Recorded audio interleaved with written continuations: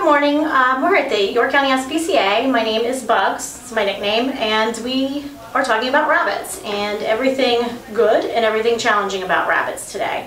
We're holding an annual event to discuss rabbit adoption and why rabbits don't make great pets for Easter and you don't want to run out and buy one. So on the good side, rabbits can be litter trained.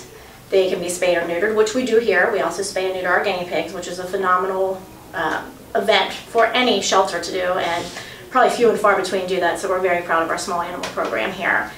Rabbits, like I said, use their litter box, they like to cuddle, they live 9 to 12 years, so there's they're not a starter pet. And I think that's where we get into problems at Easter time because people think that you can get a rabbit for your child for Easter, and all of a sudden it's six months down the road, they haven't spayed or neutered the rabbit, they've gotten it from a breeder, it may be ill, and they end up spraying, they end up destroying things, and uh, it's through no fault of the rabbit, but just like a cat or dog, they need to be spayed or neutered.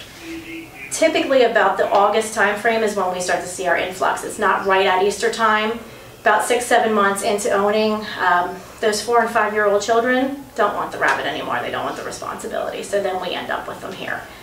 But they make wonderful companions. I currently have one that's 10 years old. So, you know, with the proper vet care, Rabbits can live long, healthy lives. They're super smart. They come when called.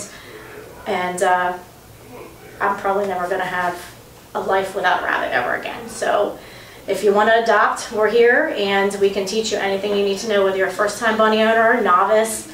I was a novice at one point and I've learned so much over the last 12 years. So we're here and anytime just come on in, visit us and they can direct you to any volunteer that can talk about rabbits. We also give out adoption packets and uh, we just want to encourage everyone not to go out and buy that baby bunny for Easter. More than likely it's going to be sick.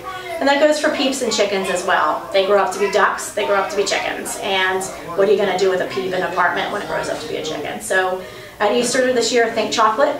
Chocolate bunny, stuffed bunny, nothing live.